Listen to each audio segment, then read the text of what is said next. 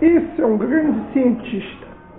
Infelizmente, ele só existe na ficção, e, portanto, ele só aparece como boneco, como ator. Gostaria que fosse possível viajar no tempo.